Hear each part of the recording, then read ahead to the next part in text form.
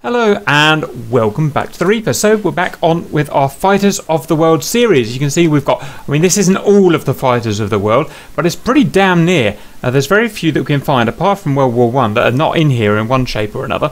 Uh, we've done column 1, we've done column 2, we've done column 3. Today we're on column 4. We're going to start at the F-35, work our way down to the Foxhound. So we've got Sherman and a couple of other guys here to help us. So F35 Lightning. Now, the one thing that's interesting is we've got three variants the A, the B, and the C in here. Does anyone, in a quick summary, know the difference between those three versions? A is the Air Force, which contains an internal gun. B is Marine Corps, which is VTOL, and C is uh, carrier based, which has CATOBAR and arresting wire. Can they all do Also vertical worth landing? noting, no, only the B is capable of that. Speaking of which, the B and the C do not contain internal guns. I think it's like a 25 millimeter, and the, the C, if you actually see the C next to an A or a B, the C's a little bit larger.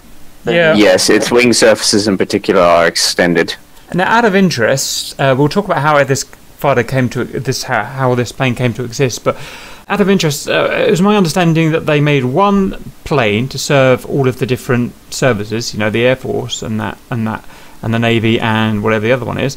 But there's three versions that are all different, so it kind of, kind of makes that point superfluous, doesn't it? Why didn't they just make Not three fighters? Not really. If you have commonality for a substantial number of parts and you substantially reduce on the costs, the problem is last time somebody tried this was the F-111 and the F-111B. While it was shit, it did give us the F-14 Tomcat at the end of the day. Lols. So think of it as the modern day F4, because the F4 ended up being used kind of in that role. Mayfair. Yes, although admittedly the F-4 was originally, I think, built for the Navy. Yeah. I'll have to double check that before somebody screams at me. The other thing I don't uh, understand is it's called an F for fighter, but I thought it was a bomber. Uh, so it's designated, or at least the advertising designates it as a joint strike fighter. Technically, it would ro- fill in the FA role along with the FA-18, but yeah, it's a multi-role aircraft, so you could think of it as something along the lines of a stealthy F-16. Mm. Right, well, let's get into how it came into existence and roughly when it came to existence and roughly why it came to existence. So, is this something you call fifth gen, I suppose? Well, it depends on which categorization you use. Some would say it's sixth gen, or yeah, but again, it depends. So either fifth or sixth gen. But basically, this is stealth tech. It's designed with um, angled surfaces which don't give off strong radar returns, as well as including radar absorbent material on the external surfaces to absorb additional ra- radar waves. The interesting fact about the radar, the radar is so powerful, it can actually do ECM missions just by frying radars on the ground. And this came into fruition under the project name J something, J JSF, Joint Strike Fighter. Joint Strike Fighter. So, The other, Joint. yeah. the other project was a Boeing. It's the weird-looking fighter. I forget what Oh. it's called. It, the Goblin. Let's go and have a look at that standby. Mo- most U.S. military contracts. They have a fly away between two planes. It's always been like that, and I think it's always going to be. Like Right. Okay. So we had something called the J, the JSF competition, then Joint Strike Fighter competition, and then the two the two best uh, entries get uh, money to to build their fighters, and then they do a fight off essentially, don't they? And in this case, the F-35 won. So I'm on Google Images here, and we've got the the J uh, sorry the F-35 which won, and the other one. What was the other one called? Does anyone know? X32B. X32B, I see a swept wing, two kind of heavily swept uh, tail fins, and of interesting intake mouth at the front. Yeah. It it, al- it almost looks too derpy to be stealthy in a way, doesn't it? Hmm, it does look very interesting. That must have had some brave engineers trying to push that. It has Also, the a need braver thrust, pilots. has one thrust vectoring nozzle in the back, like an F-22. Oh, interesting. Does it also have the front engine type, the front fan, or not? That would probably be what that intake is. Okay, and then through one reason or another, they chose the F-35, and then that's what we have nowadays. Was there any major flaw with the uh, with the 32 that we know of? Is One it- major flaw with the 35, it's majorly over budget, like billions of dollars over budget. Yeah, the problem with the F-35 is it's now reached what's known as too big to fail. Because if they gave up, then they'd have to spend several more billions on an entirely new plane. Um, should we do stats then? Um, can it super cruise? No, I do not think it can actually. It doesn't have nearly the performance of an F22 from what I remember. It's obviously got one motor. That's going to be a whopping great thirty-five thousand pound motor. So here are the characteristics: um, max speed Mach 1.6, so about the same speed as a Super Hornet. Thrust to weight ratio with full fuel of 0.87. actually not Yeah. that bad. Full fuel. what's the weird It's- thing about it? It's less maneuverable than the aircraft it's going to replace, which is the A10 slash F16. It's nothing like Mm. nothing like the A10, is it? Well, no, the A10 is a single-purpose get down the dirt and shoot tanks aircraft, whereas the F-35 is a multi-role kill everything with smart munitions aircraft. Mm-hmm. Dry thrust is 28,000 pounds of thrust. Afterburning thrust is 43,000. That's pretty impressive. That's Yes. like that's nearly as much as one of the old solid The engine is the Pratt & Whitney F135. Mm-hmm. Oh, that would make sense why it's so loud when I see it at the air show. It really is a loud son of a gun. Based off the Raptor's engine F5. Oh, interesting. Mm, although the Raptor does have two engines and its engine nacelles are shaped in such a way as to reduce um, infrared signatures from the engines, whereas the F-35 doesn't have that. And is it the B that does VTOL, or is it uh, is it? Yes, the B has um, a V-STOL cap- capability. If you look at the top of the B, a, a vertical fan actually opens as an Mhm. air intake when in the VTOL mode. Unlike the Harrier, it's controlled almost entirely by fly-by-wire, and so Mhm. it basically bef- uh, mimics the control in a way of a helicopter, except instead of using collective to move the aircraft, you use engine throttle. Oh, And of course, because it's computer controlled, it's extremely easy to control until um, the computer decides to divide by zero. When I see them, it must have an uncrashable computer or something. When I see them at the air show, even in the wind, they can hover perfectly, perfectly still, even stiller than a helicopter. So it must be quite advanced. Uh, so I guess it's like the Yak uh, one four one or whatever it was that has the. It, that- it's I'm probably substantially more so because uh, digital technology has come so far, and the lessons learned from the Harrier will have also been integrated. I think it's one of the first supersonic VTOL aircraft okay. To actually get into service. let's talk about armaments, and this one's referring specifically to the F-35A. So in the A, you have the internal uh, 25 millimeter GAU 22, which has only 180 rounds. Interestingly enough. Now remember, on the B and the C, in order to get the gun, you need to mount a uh, centerline gun pod. So yeah, that's Ah, a thing. That is the So for the B, I suppose that's not really a problem because the Harrier had to do the same thing. C, I'm not so convinced. But Here's, here's my problem with this planes like this, German, is that you've got this lovely F-35B Lightning, take off from carriers. It's built around a stealth platform. Great, but if you wanted to do anything, you've got to strap a gun to it and some Mark 82s on the wings, and it won't be stealthy anymore. So that's just, just a waste of money to me. Anyway, So, coming on to that point, uh, hard points. Six external hard points with 15,000 pounds capacity. Two internal bays with a ca- capacity of 5.7 pounds with a total weapons payload weight of 18,000 pounds. Remember, this is the A specifically. that is a lot. It can carry a variety of air-to-air weapons, including the AIM-132 ASRAAM, which is basically the latest air-to-air missile. It can carry several types of smart air-to-ground weapons, including uh, the most modern variants of the HARMS, uh, various joint uh, attack weapons. Basically, you can stand off with this thing far before the enemy can even reach you or see you Well, and knock things out. the ASRAAM is Full blast cockpit 2 and HMD. ASRAAM, but not that we want to get it sucked down because that's that's in the next video, but it's actually the little brother of the AMRAAM. So I'm guessing the AMRAAM doesn't fit into this plane. It does. Does it? At least the C does. All right, cheers, guys. We must move on though.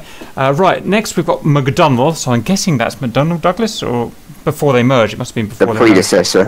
Four. Right, we've got four planes that I want to get through fairly quickly. Um, first of all, we've got an FH Foxtrot Hotel One Phantom. This is a carrier aircraft. Uh, first flight in 1945, oddly enough. 45. Yes.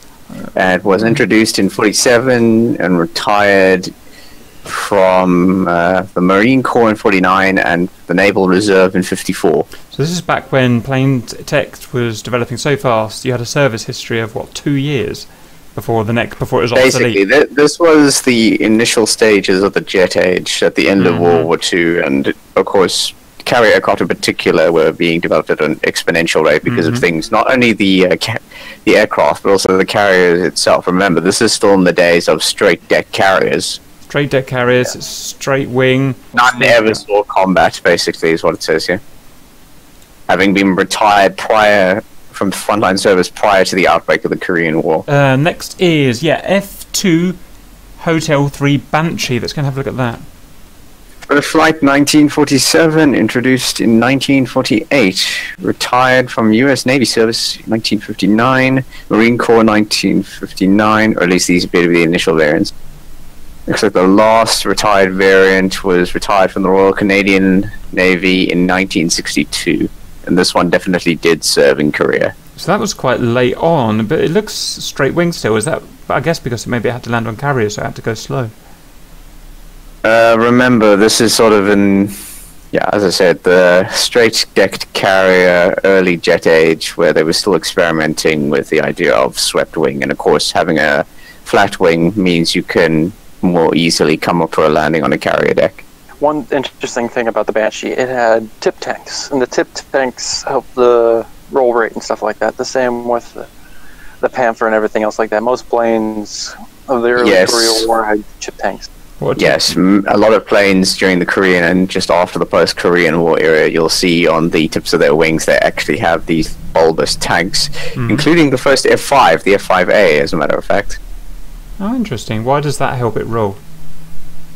I assume it has something to do with gravity, but again, I know nothing about the dynamics of it. And are these arrestor hook uh, and wires? Is that how they land? Yes, yes, there's a picture here of the USS Coral Sea in straight deck formation here, although I don't know how, if this thing was launched straight off the deck or with a CATOBAR. Sorry, not a CATOBAR, um, a grapple assembly, because this is way before CATOBARs were introduced. Okay. Anything to add to the Banshee before we sign off on that? Uh, I'm just served with the Navy, Marines, and looks like the Royal Canadian Navy as well. Okay. Four 20 millimeter cannon. The one thing is interesting.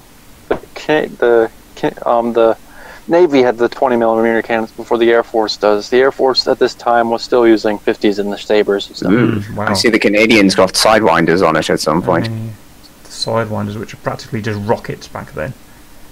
There's Roger. one interesting version of this plane with a tilting nose that actually the cannons were like on a pivot or something like that, so they could move up and down. That's cool. Give We're us. targeting bombers and stuff like. All right, let's move on, guys. Uh, XF something something Goblin sixty five eighty five. Ooh, yes, this No. is the Ficon Ramjet, fighter. This is Cap's kind of plane we're talking about now. Look at that little baby. It is Hang on. made, if I know correctly, it was made the Parasite fighter off of the B-36 Ficon.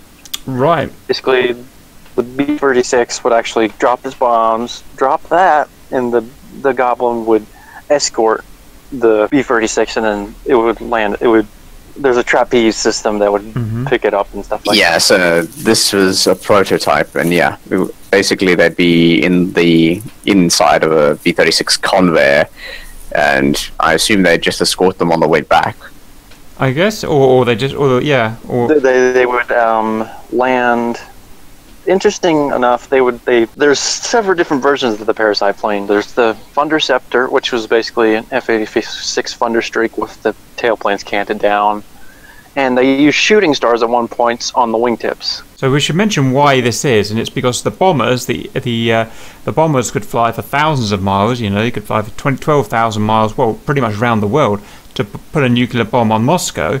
But these planes, uh, but the fighter planes uh, couldn't keep up with them. Uh, couldn't go, go that So- fast. So the, the idea was So the basically, the jump was from things like the Boeing B twenty nine Super Fortress, which could be escorted by the Mustang and the Thunderbolt, to things like the B thirty five and the B thirty six Convair, and the fighters simply didn't have the range to do it. And this was before aerial refueling was standard practice.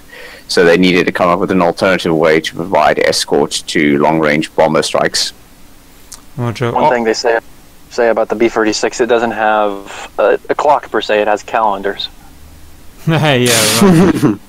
Roger. Obviously, none of those were used because the Cold War never got hot. Even if they did, I don't think Yeah, the prototypes were cancelled in 49. Give me a quick. In fact, there were only two of them built. Give me a length, length and top speed just for lols. Length 14 feet and 10 inches, which is 4.5 meters, That's the same size as my Renault Clio. and it had a engine with 3,000 pounds of thrust, Wow, that's amazing. That's like the same as a Hawk, which is I don't know five tons or something. which gave it a thrust weight ratio of 0.66. Oh dear, that's not so good. All right. Well, when you don't need to climb up to the enemy, I suppose it's not that bad. Mm, yeah, just use gravity. Okay, all right, that'll do for uh, parasite fighters for today. Very good.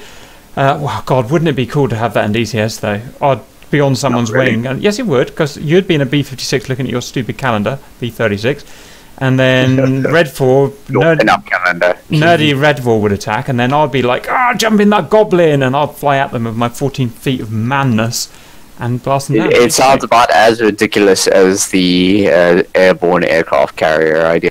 Mm-hmm, lols. All right, Roger. Anyway, let's crack on. Right, F101 Voodoo. So I kind of remember it slash kind of don't. Voodoo. Yeah, it's what's interesting for Vietnam is one of the few air. It's what it what it found a role for in Vietnam was high speed, low altitude photo recon. Is that It what had the this is for? same pro. Mm, It was a fighter bomber, but it never really got to do that role. It had the same problem the F-104 had, being a T-top T-tail. Oh yeah. Is Yeah, but that high tail gives you really, really shit performance when you're trying to do maneuvering. do is nuclear toss bombing. It also Yeah. tends not to perform very well at supersonic speeds with a high tail like that. It also had four 20 millimeter cannons, same as the F7. okay, no missiles. So yeah, there were some eventually AIM 4 Falcons and Air 2 Genie rockets. With the Genie's nuclear. Yes, they were meant. It's basically like a last ditch. you basically go up against a plane, launch that, and run away as fast as you. That's the most ridiculous thing about 1950s US air defense is it's basically launch as many nukes at the Yeah, enemy bombers as possible and see who's left. Things you got to remember the mindset back then. Everything was nuclear. Nuclear fridges, nuclear cars. You You, know. you suddenly understand why Fallout doesn't actually seem that's ridiculous. hmm Uh, what have we got? A couple of afterburning turbojets, I'm guessing, and a speed of Mach 1.3. I'm guessing. What have you guys got? Uh, Pratt and Whitney J57 afterburning turbojets. Oh, which 57s. give it, Uh, dry thrust of just under 12,000 pounds, afterburning thrust of just under 17,000 pounds. Each. No, in total. Oh god. No, you're right, each. Me- Oh, yeah, you're right, each. That's pretty good then. That's thirty-four thousand pounds. That's pretty good for the times. That must easily be supersonic. Yes, It could reach Mach 1.7 and it had a thruster rate ratio of 0.74.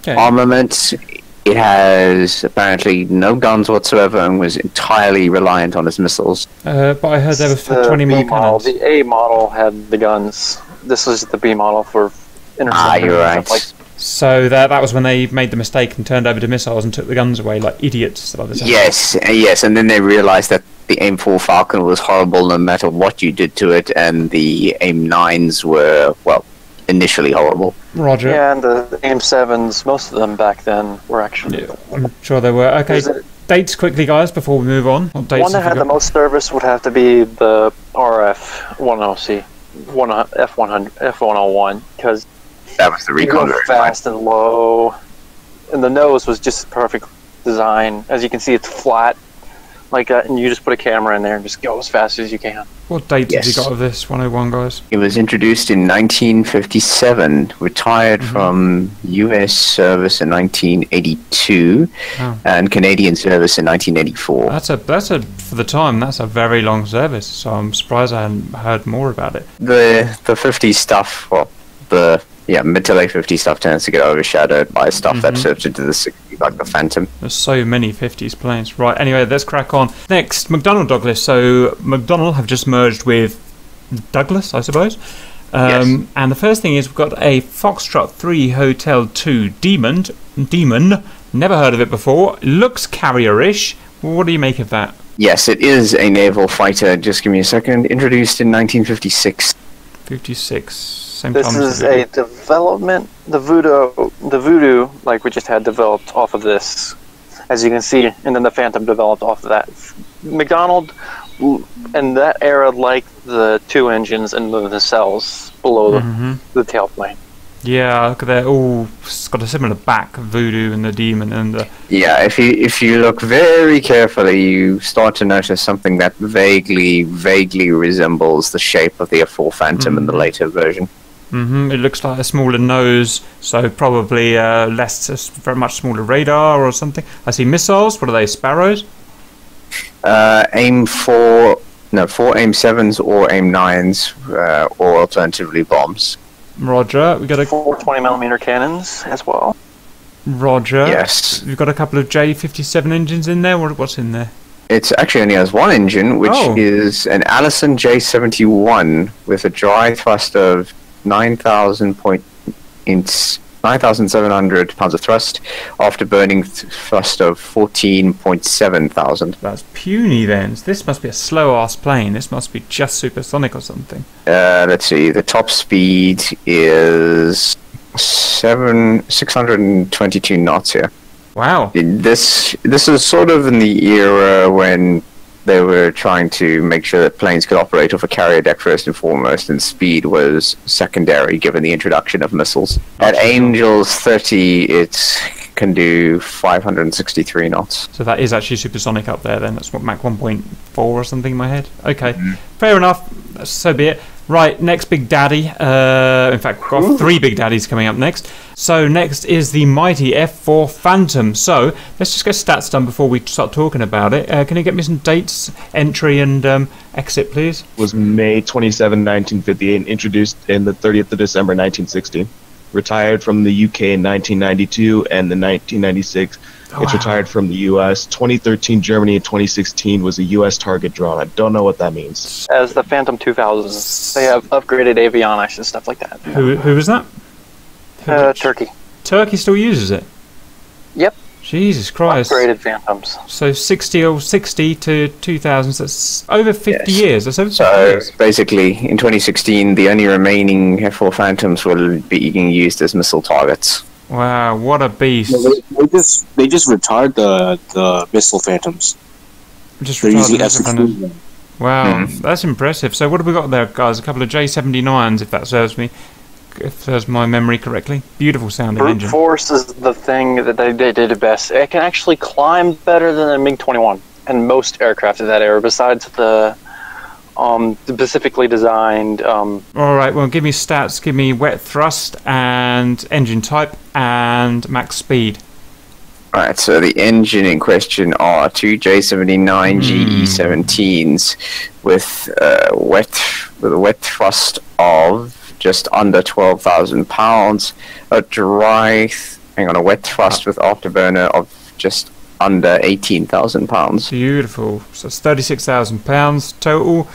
Pretty awesome. And a speed, Mach 2 fired up, wasn't it? So Mach 2 up high. 40,000 feet, it could reach 1,280 knots, Mach 2.23. There it is. That's, uh, that's a beast, isn't it? That was that was most than most more than almost anything up to that point. Yes, In of course. it was. Yeah, the main thing about the initial F4 Phantom is it was meant to be the epitome of the missile fighter doctrine that was being considered when at the time of introduction. Uh, but it was also designed to be a nu- nuclear fighter bomber as well. Yes.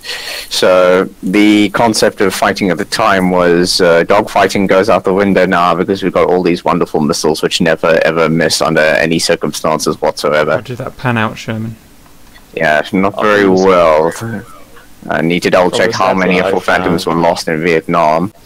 Um, one Um, interesting from the story, if I you found guys. from the F4C to the E is it has a total of 107 and a half shoot downs across from MiG-17s to MiG-21s. It's quite a lot. Yes, but The one interesting story, if you guys ever get to look, there's two interesting stories. Look up um, Randy Cunningham and Showtime 100 and the Vietnam one, uh, the Vietnam War, and then one other s- story you need to look up is Operation Bolo. Basically, what they did is they had a ship of flight of four F1 Phantoms, four Phantoms disguised as 105s, and then the basically they were there to hunt down MiGs and stuff like that. And what's it, Cap, you might like this one, uh, this part about that. The interesting part part about that flight is they had F-104s for top cover. Hey, my favourite. Okay, I see a change in doctrine here, Sherman. I see a two seat, a two seat layout um, rather than a single seat. Is that because maybe the Radar. radar? Right. So at the time you needed, a, like the Tomcat, a separate guy just to do the radar. Remember, this is in the age of the analog radar rather than the digital one. Mhm. So this thing, you just you looked for targets on your scope, you saw them, you locked one up, and you Mhm. f- launched a missile at him. I imagine you'd have a mm, big array of knobs, and you'd have to be configuring everything because it can't do it itself.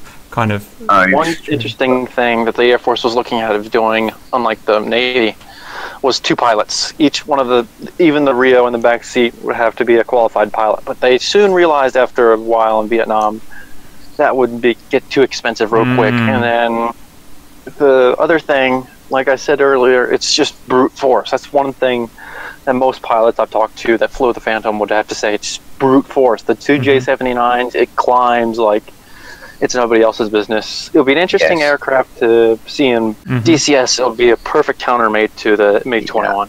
Yeah, it and um, its um, performance in high angle of attack is notably bad because it's basically not a fly-by-wire system. Mm. If you got slow enough and got high enough angle of attack, you would actually have to steer using your rudder rather than your ailerons to roll. Mhm. Anyway, And Um, with ailerons become uh, you get opposite input outputs. Mhm. mhm, and that can cause you to go into a spin, which is never good. Give a th- brick enough thrust and it will fly. Mhm. Yes. Anyway, so the E model is the only model that contained an internal gun, which was the M61 Vulcan, which everyone knows and loves. Before Uh, so that, internally if mounted. you, see, if you see something below the radar, it's not a gun. It's a infrared sensor, if I'm not mistaken. Mhm. Yes, I believe on the E models that was moved out to a wingboard sensor, uh, if I'm not Mhm. mistaken, on some variants. Um, but yeah, on the E, that lower section under the fuselage is uh, the gun pod, sorry, the internal gun, and the other variants would typically only use uh, external gun pods and typically only use them in air to ground operations. Otherwise, they would use one of their many uh, hard points. Let me see if I can find any data on the hard points, but yeah. Would you- You think you had something like two to four hard points under the fuselage, uh, four hard points on the wings. One Basically, like the F-15C in a sense when it comes to edgeware. So four so yeah. four heaters and four sparrows, four uh, fuselage sparrows. Yeah. Roger. Yeah. Okay, let's move on, guys. Uh, so that is a mighty plane. We'd love to talk about that more because was and it had a lot of history, a lot of combat history as well, obviously. Yes. Okay, so we move on to the Eagle. So everyone knows about this. We've got the F-15 Charlie model here. Uh, what can you say, really? Although it's not one of my favourite planes because it's just not weird enough and useless enough, it was probably the most successful. Well, the most. It was the most successful fighter of all time, I guess. Would we could say. Yes, it has not been shot down by any enemy plane ever. And one interesting thing about the concept of this is the fighter mafia, right after the trailing end of Vietnam, took over, and they're one of the leading pushers for this plane and the F-16. They wanted Mhm. the dogfighters of most of all. Boyd That's why the Senpai. Yep, so I've got um, uh, 90 or so of these RAF Lakenheath right next to me. They're an absolute joy to watch. We are named after these guys, the 493rd Grim Reapers. Um, so we've we all know this very well from DCS. It's Mac, so it's it's it's the F14 on steroids. Oh, sorry, the F4 on steroids, really, isn't it? It's more powerful engines, better aerodynamics, Mach 2.5 clean. Uh, not that you'd ever do that in reality, but that's what it shows what it could do. Massive radar, absolutely huge radar. So we're down to a single pilot now for the for the It's C. the well, the original F-15s used the APG uh, 63. There's actually a declassified video of it on YouTube where they're given pilots sort of advertisement slash overview of the APG. Mm. One other thing it was designed for is it's not good at this role, but it's designed for is the interception of MiG-25 Foxbats. Mhm. And it, what they had to do is basically one-shot zoom climb and hope you get a lock. One other thing they used it for was anti-satellite munitions. Yes. They basically zoom climb as high as they can, then launch the embassy. Roger. Mhm. It obviously set uh, a, a whole before the flagger came. Most of the world, it set most of the world alight, breaking most of the records, time to climb, max speed, blah blah blah, you name it. Probably broke it. And um, yeah, I remember because a lot of people complain about the Raptor at the moment. It always breaks down. It does. The last time it was at RIAT Air Show, it broke down in front of my eyes.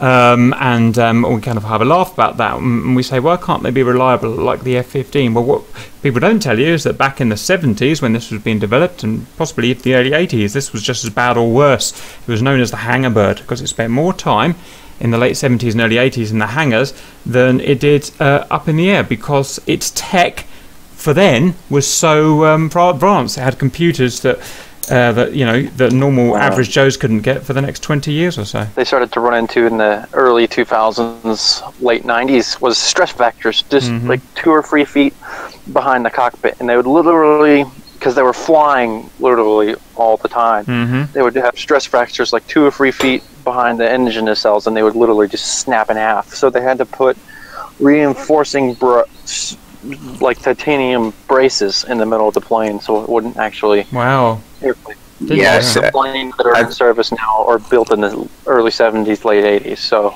There, there's Yeah. also the problems with the uh, initial engines with the uh, Pratt Whitney F100s when they first came out, and this is also why you now see F16 and F15 fleets with uh, Pratt and Whitney or General Electric engines. It's because this is what happens when you give a company a monopoly over a market.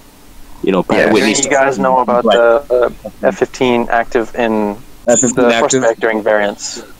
the Wow. 2D thrust. I did. I did see the thrust vectoring prototype. It's from NASA, correct? Yes, and they had. It's almost like a Graves of NASA. yeah, and it basically had two big canards on the right where you see the intakes a little bit more.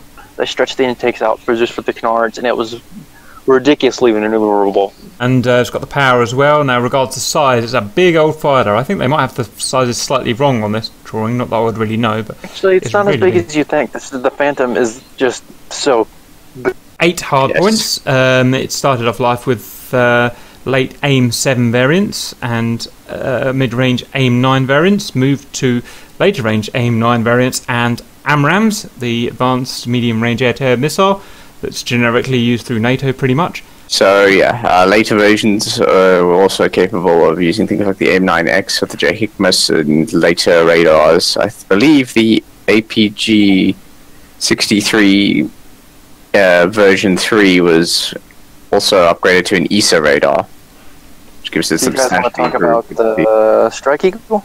Uh, negative because it's fighters of the world only, and let's just keep with what we've got. Okay, again, we could talk about this all day, but we just don't have the time in our yeah, lives, we, unfortunately. you know the general function from DCS. Yeah, I was going to say this is a well-known one. Okay, let's chip on F18, guys. Obviously, we know it's just come out in DCS, and everyone's learning about so it. this one is a bit of a weird story behind it. So, descended from the F5E and the YF17, which lost the light fighter program.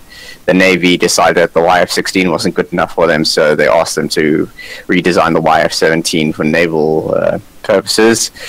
And that is how Northrop built the initial F-18C variant. They couldn't build it alone, if I remember correctly, so they teamed up with McDonnell Douglas to build them. There was some legal uh, trouble, which ended up in McDonnell Douglas owning the F-18 concept or the F-18 brand, and then it was eventually sold off to Boeing. And then we've got the Super Hornet.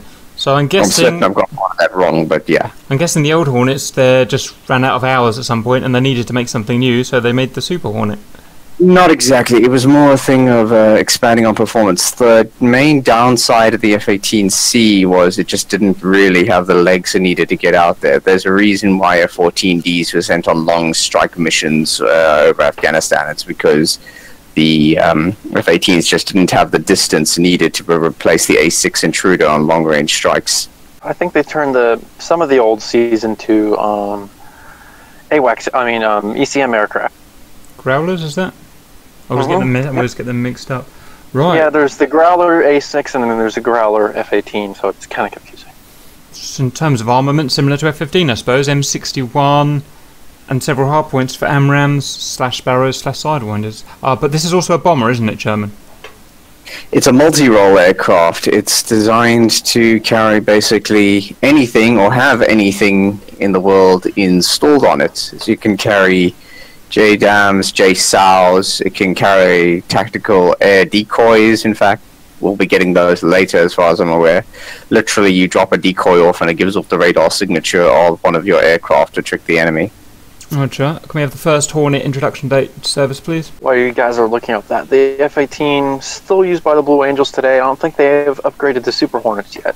I'm not sure. No, but they are especially uh, weighed I mean, in certain Angels. configurations. So, first flight was in November 1978, introduced into Navy service in 1983. It's a little, little later than I thought, so it's a bit behind the F-16 then, and, and a ways behind the Eagle then. Yes, again, this was uh, as a result of modification, substantial modification after the lightweight fighter program. I bet they don't Plus- last very long in service. I bet they get huge stress problems with all those arrestor hook landings. It, it, it is always a major issue for the Navy. They always have to consider stress factors, which is why they are so uh, strict on doing proper carrier flight and landing. That's one of the reasons you see the Blue Angels crash sometimes, and the f- same with the Thunderbirds, but not to the same extent, because the Blue Angels and the Thunderbirds aircraft are old fleet fighters Mhm. that they retire and strip out. Yeah, worth say- noting Yeah. that 1978, that was the F-18A entering service. yeah, I know. I mean, when we talk about these, we have to kind of conglomerate them all into one. One, even though Yes. there's several versions. But okay, uh, Sherman, as to finish the F-18 off, that's because I always like figures at the end of the day. How fast could it go, and why couldn't it go as fast as the F-15? So, Mach 1.8, if I remember correctly, is the top speed of the Legacy Hornet. Oddly enough, the Super Hornet only can do 1.6. And the reason for that is because they do not have variable geometry engine intakes, which means that they cannot uh, reduce the speed of the air coming into the intake um, quite as efficiently. There is a way to do it, which involves holes in the leading edge extension, which causes some of the air to uh, essentially decelerate due to the airflow, but it's not as efficient as variable geometry like you have in the F-14 or the F-15. Exactly. So in this F15, you've got very variable geometry ramps here, roughly where my mouse cursor is, and they're great because it means they can slow air down and you can make your fighter go really fast. However, they're very uh, expensive and uh, problematic. There's often problems with them. Yes, in, in the F-14D, for example, they actually ended up disabling them because they were just too expensive to maintain. And so in the F18, they asked, well, do we really need to go Mach 2.5? Not really. It's much cheaper and lighter and just better if we leave it off and accept our plane. And to the Super Hornet, yep, down to 1.6. Why do you need to go above 1.6? You never can with stores on anyway. So that's that's the kind of is perfectly acceptable thinking uh, in the modern age. Right, we must move on, guys. Well done. Mitsubishi. Let's be awfully quick. A Foxtrot One. Never seen it. Never heard of it. Did it exist? What did it do? Japanese version of a Jaguar. It thought- does look like it. It yeah, look like let's it, see. First domestically developed and built supersonic jet aircraft. At first glance, it somewhat resembles the Jaguar, but was a completely independent Japanese design, although it uses the same engines. Primary role anti-ship, secondary role ground attack has limited air-to-air capabilities in terms of AIM-9 sidewinders. That is very limited. So it has a internal gun, uh, 20 millimeter Gatling gun, which is seems to be a JM61, which is basically literally Mhm. just a Japanese variant of the M61. hmm One centerline hardpoint, four under wing, and two wingtips, and majority of its munitions are air to ground, but it can also take sidewinders. Okay. So Interesting, you don't have the Japanese version of the F-16 on this list. The F2, which is basically a bigger F16.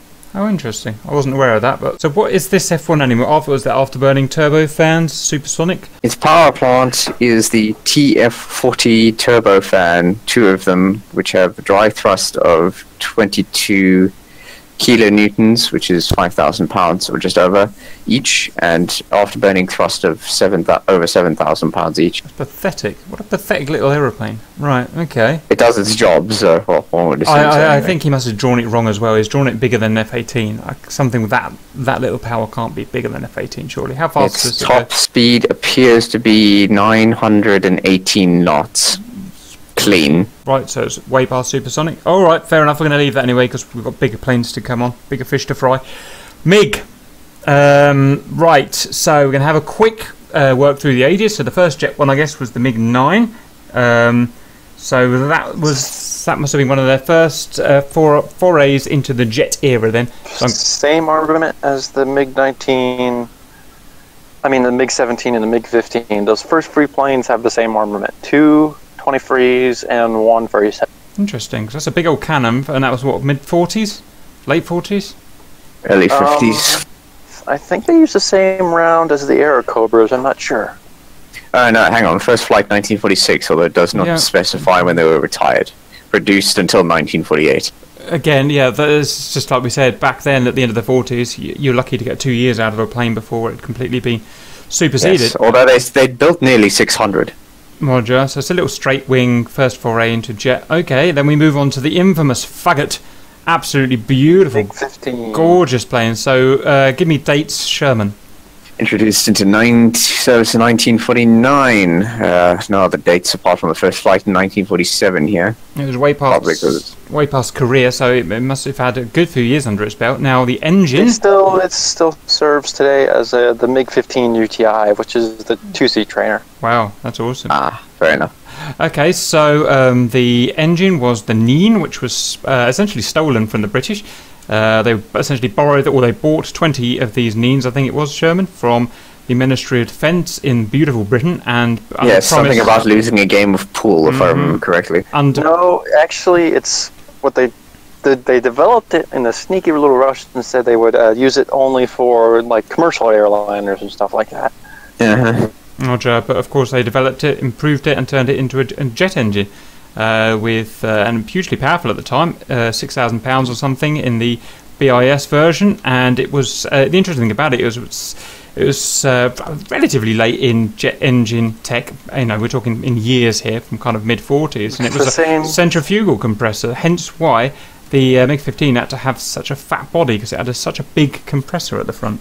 Incredible climb rate, easily outclimbs the Saber. Mhm. Um, one of the things we had, it surprised the hell. Imagine you're just flying around escorting B-29s in your P-51. Next thing you know, you see a MiG, MiG 15. It's like whoa. Yeah, suddenly it's like, Mm. oh fuck, we're in MiG Alley now. And um, But what's interesting is Furies. The British shot down a couple MiG-15s. Corsairs shot down a couple. Mainly, what killed them was the The F-86s. The thing that killed them was the was the pilot. I mean, it was a good jet. It was a good jet. It had swept wings, extremely fast, Mach 0.92 for memory. Um, if you look at the Early on, they had Russian Russian World War II vets as pilots, and then as soon as China entered the war, but later on, the pilots became less and less skilled. So at the beginning, it was like an early matched. They were like evenly matched, if not in favor of the MiGs. But later, in the Yes, and then US pilots started reporting suspiciously Russian looking pilots in the cockpits of these jets. well, the, actually, it was mainly Chinese pilots throughout. The Russians did do a lot of training, but very little Russians did fighting. Um, if, if you Um, read, if you read the li- if you read the literature on how many fights happened, and these the problem is these Chinese were really crap. The doc training doctrine compared to the Saber pilots was bad doctrine.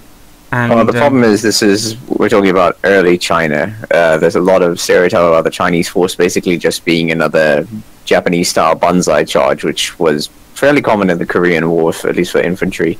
But the modern Chinese air force is substantially more advanced. If you look at the, the sweep of the tail, it's a hugely swept tail. It's because they had to make the, the body, because of the body width, they had to make the body so short. But to get a decent a decent pitch lever, they had to th- they thwank that tail right the way back, and uh, see how far those uh, those elevons or those elevators are back. could Mm. take an interesting amount of punishment versus the F-86. Hmm. I mean, yeah, because they there's stories of these apparently F-86 claim shoot down, but then the pilot comes back home because we were still using 50 cals at the time. M3 specifically. Yep, and if we you would have to hit something vital or the pilot, but they had Mhm. ejection. That sounds seats, if I'm familiar. Mistaken. Yeah. Yeah, ejection seats were first introduced with German aircraft in World War II, so I assume by this point they would have been introduced on a lot of the military It aircraft. was an interesting uh, match. It was between the MiG 15, obviously, and the F 86 Sabre at the time over the Korean uh, Korean War in, in an area nicknamed MiG Alley. And um, one of the interesting developments that the US had is they, at the time, had the first G suits in their Sabres. They could pull nearly 9 Gs in their Sabres. So you had an extra of nearly 3 G of uh, 3G of turn in the in the Sabre. Yeah, the ease from the ease forward, they F-86s also had hydraulics and all moving tailplanes. Versus, I don't think even think the MiG 15, MiG 17 had an all moving tailplane. Speaking of which, let's move to the MiG 17, Sherman. What do we got here? What's uh, what was what was the doctrine behind this? Sweepier wings, powerfuler engine, more speed, I suppose. Make a better big MiG 15, basically. Mhm. Afterburners, Is this supersonic? The faggot wasn't Uh, supersonic, obviously. Is the uh, transonic. so this is transonic again? So they're still not through the barrier. Yeah, it does. It does have reheat, but it's not supersonic. hmm The interesting thing about the MiG 17, it was the most maneuverable f- fighter plane you could get, bar none, until the F 16 came out. Hmm. Why the Mhm. U.S. Air Force had trouble with them in the 60s. And Top Gun, that's why Top Gun used A4s and F5s, because there's no other way you can. The closest thing you can get is an A4. Light, mm-hmm. turns, and yeah. Okay, let's move on to the 19. When was the 19? And we must be supersonic now. there's an interesting debate about the 19, which was the first one to actually break the sound barrier, the 19 or the F100. The So- uh, F100 actually flew first, but the MiG-19 may have flew first, but who knows? Mm, so, first flight was in 1952, introduced into service in 1955. Served in limited service. It's in limited service with the, the North Korean Air Force. It was, let's see, I'm just looking at its service history. Mm, so yes, they were coming out with a new fighter every two and a half years, but the looks fit. Imagine that nowadays. You wouldn't be able to keep Welcome up. to the Cold War. Mm, Amazing. About that, you can tell if the MiG-17 and the MiG-19 have radar because they'll have like an on the upper part of the intake, they'll have like two domes. One's for the radar returns, one's probably for the radar intercept. Very crude, Yeah. but it works. Yeah, so looks like they were introduced in Vietnam, but not during the Vietnam War. And the first shoot down was uh, of a U.S. Air Force aircraft by a Chinese aircraft. Mm-hmm. So about this thing is actually twin engined. I think Oh, it has really? afterburners as well. Top speed Mach 135. I know they're making this for DCS. Faster than the F100, I know that much. Yes, RAZBAM is working on this aircraft for DCS. I believe they are working on the P variant, if I'm not mistaken. I'll have to double check that. Anything else on this before we move on? Uh, Um, armaments: three 30mm cannons, four hard points which can carry rockets and bombs. This is the S specifically. Let me see if I can find the P. two big air brakes. There's like three or four big air brakes right behind, below the engines. Yeah, so the MiG-19P uh, was capable of carrying um, AA-2 Atoll missiles. Sidewinder, pretty much. Okay, Yeah, literally copies of the AIM-9B. lovely job. Let's move on to the Fishbed. It's just something we have in DCS. It's something we know well. Right, so we're really, really getting fast. We're getting Mach 2 territory now. Can we have a service state, please, Sherman? Uh, first flight, 1956. Uh, introduced into service with the MiG-21F in 1959. Last variant to be produced is the one we have in DCS, the 1985 MiG-21 Bis, or at least produced And- up till 1985. Up to Then you got the Chinese copies, which are still being produced. In F, yeah, the Yep. F7 is the most notable among those. Yep, they're still in the air, and that shows what a kind of durable fighter it was, I suppose. They say the MiG-21 is basically the AK-47 of the skies. Mhm. Yes, basically they're, they're really maneuverable. Can outmaneuver a Phantom any day. One of their con- their tactics in Vietnam was a shoot and scoot. Basically, lock on with those missiles, run away, and then just Mhm. scoot away. Yeah, I mean that that, Yes, that, because- that, that doctrine goes through to DCS because we have matches with Fishbeds and tigers, and the only way Fishbeds win are the sh- is a shoot and scoot because it's so fast, nothing can catch up with it. Yes, so the main difference, of course, is that um, we don't have F-4 Phantom, so you can go vertical and dogfight in DCS against an F-5 and actually still be fairly competitive against it using your pure thrust. Mm. But in Vietnam, these things were fairly rare. Ma- The majority of the Air Force was MiG 15s and MiG 17s, so these had to be spared. Yeah, so these had to be used sparingly by the Vietnamese. I notice uh, it has a spike, an intake spike at the front, and that means it's there to slow air down, which means it must be fast, very fast. So how fast did it reach?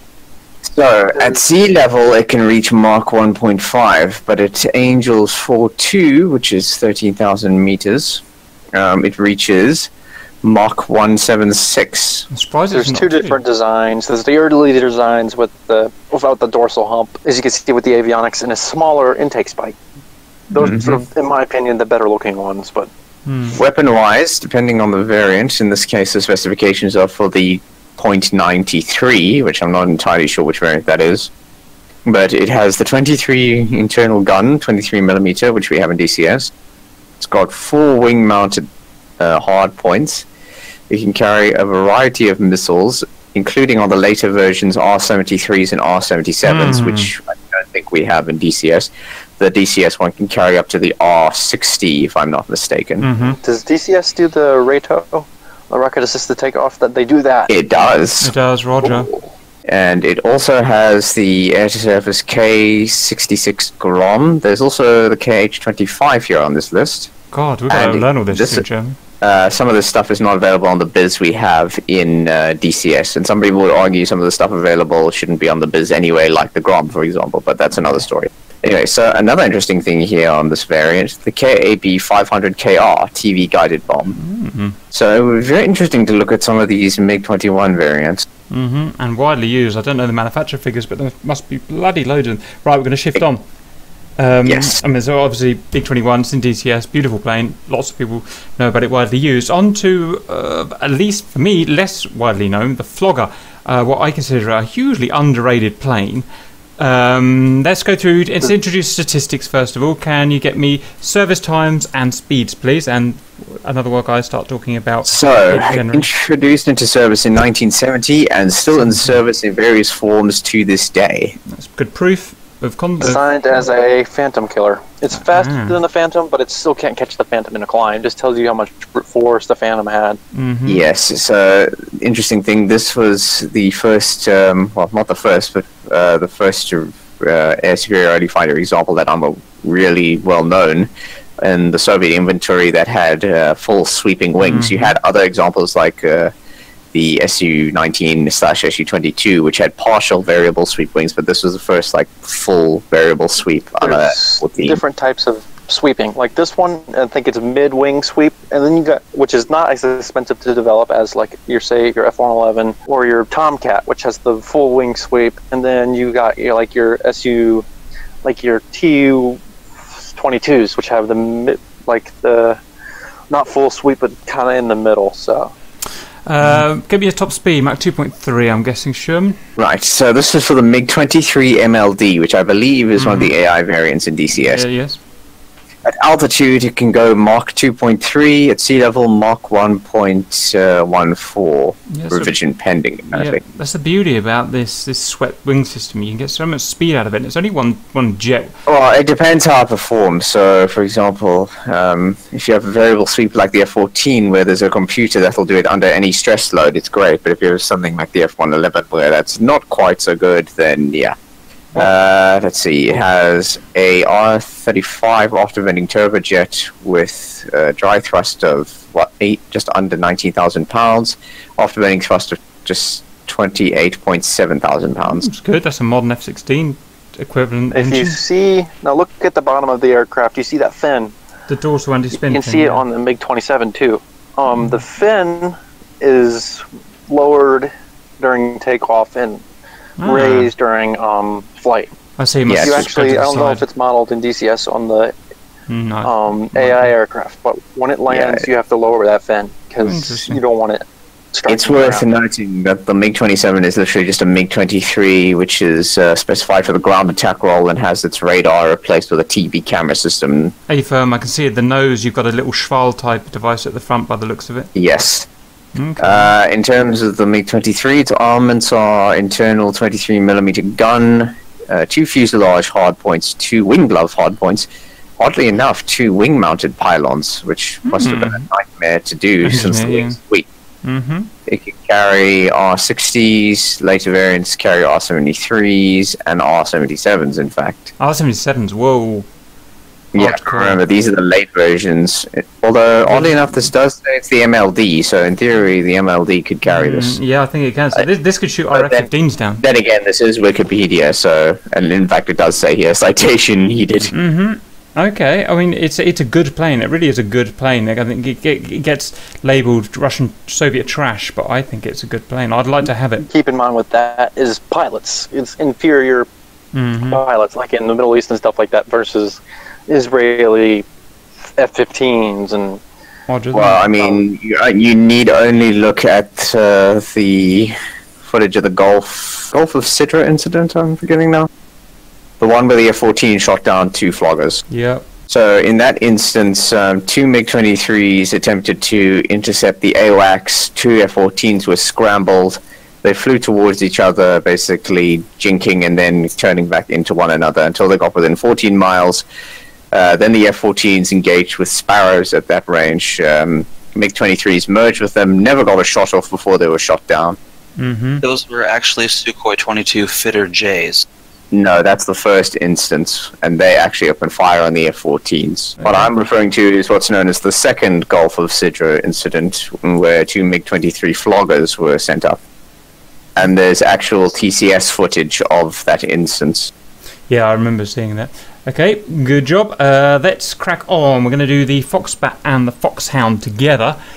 Um, so these are big, big, heavy jets. So what I remember f- from them was, I mean, they, they were before the F-15, so uh, really ahead of their time. The Russians. were- 1964 was the first flight of the MiG-25. Amazing, yeah. and- designed and they to made this to uh, to fly really high and really fast. And um, intercept the XB-70, the Valkyrie. That's what they were designed to.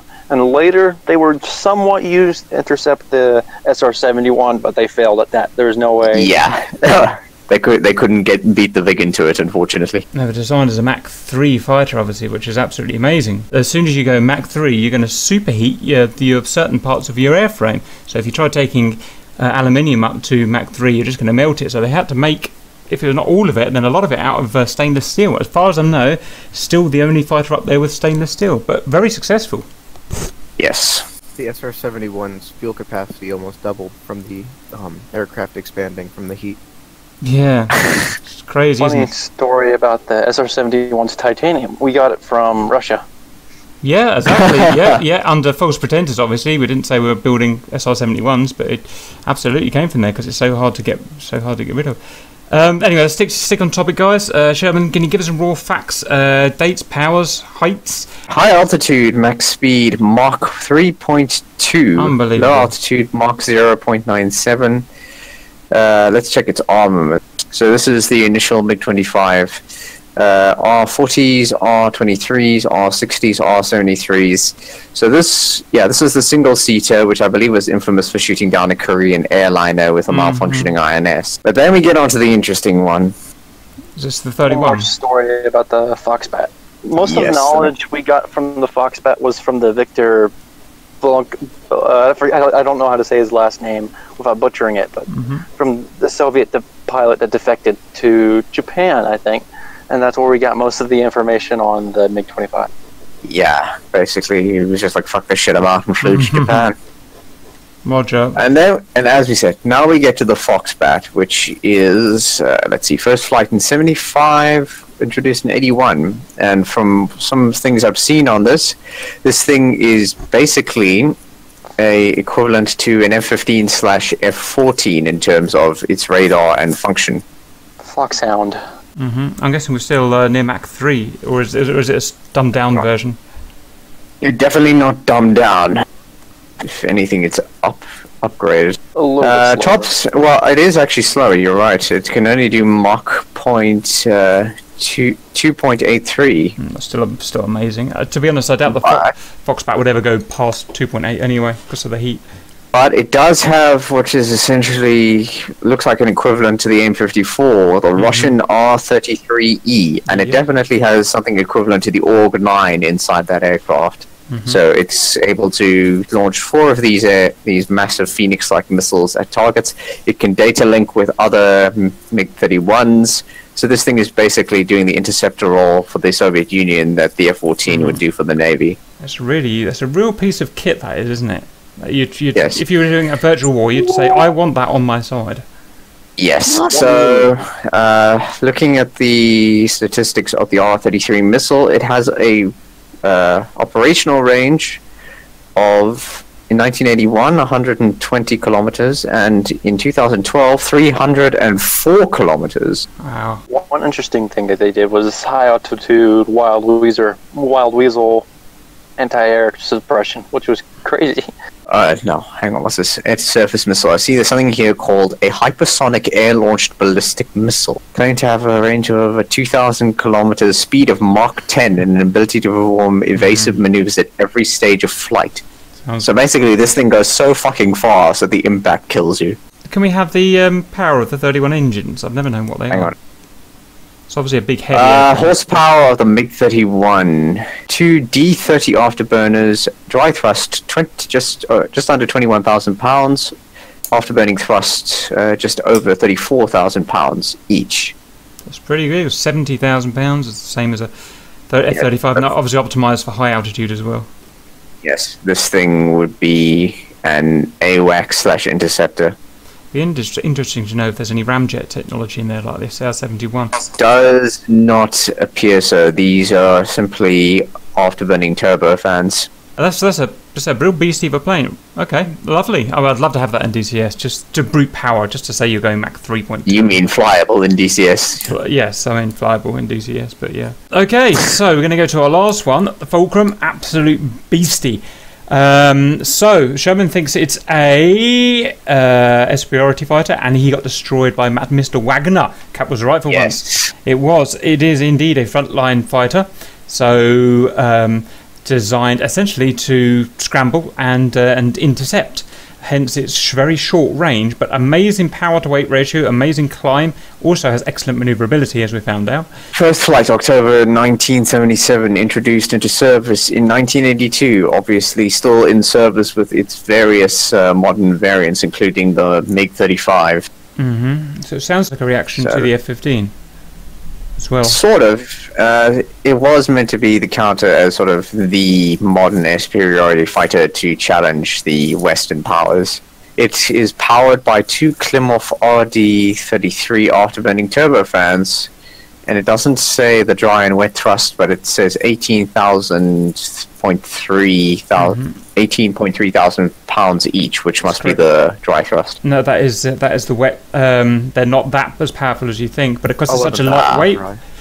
yeah, eleven thousand right. You get such a so such a light. at light high fighter. altitude, it can do up to Mach 2.2. At low altitudes, Mach 1.2. Yep, well, we've raced it, and low altitudes it is the fastest thing uh, to accelerate uh, in uh, that we're aware of down low uh, the, in our testings. Uh, it's the fastest thing top speed low down, apart from the Viggen. Well, its thrust to weight ratio here is listed as 1.09. So it's pretty amazing. got a 30 millimeter cannon, which is uh, quite close to the pilot. Uh, there was actually a documentary talking about German Western pilots who started flying this thing as aggressors, and they, when they initially fired the gun, their whole cockpit shook, so they couldn't see anything. Lols, it's useful. It also has seven hard points, which can be used to carry munitions such as uh, the R73 and the R60, and obviously on the later versions, things like the R77. It has helmet-mounted sights and was one of the first superiority fighters in the USSR to do so, and it came as quite a shock to the West when they found out they had this technology because Mm. having helmet-mounted sights and Fox 2s that can use them are extremely useful in a dogfight. Modern uh, modern search radar, modern BVR search radar, the same or similar to the flankers one, as far as I'm aware. Mm-hmm. With look-down, shoot-down capability. hmm Yeah, it's a real beast. It's a real beast. This thing t- basically terrified the West because it was capable of tangling with their best dogfighters. Before the fall of the Berlin Wall, some of the more uh, European countries bought some MiG-29s. Mhm. Germany So- has them in the Luftwaffe, doesn't it? Yeah. So Germany had some MiG-29. Germany, uh, and they gave them to Poland. Sort of. So um, I believe the majority of their MiG-29 fleet was sold to Poland for some ridiculously cheap price because the law said they had to pay for them for some reason. And I know for a time Germany definitely used their MiG-29s as aggressor aircraft. Uh, there's some footage of what's known as the Red October war games where U.S. aircraft were sent out to basically get their first opportunity to practice dogfighting against MiG-29s without actually going to war with Mhm. Russia. Also, they American pilots flying the MiG 29s. An interesting thing is when it's on uh, mil power or thereabouts, it's hugely smoky, which is doesn't mean it's broken. It does it on purpose. It's shown in DCS being smoky. It's my favourite um, participant at the RIAT Air Shows in Farnborough, England. Um, he does the most amazing vertical takeoffs that a lot of, lot of the other fighters can't do. And um, and hugely tight turns because of its you know small size, small weight. Lovely guys, that is column four done. I hope we learned some things there. Uh, we'll move on to column five later on. Until then, we'll see you later.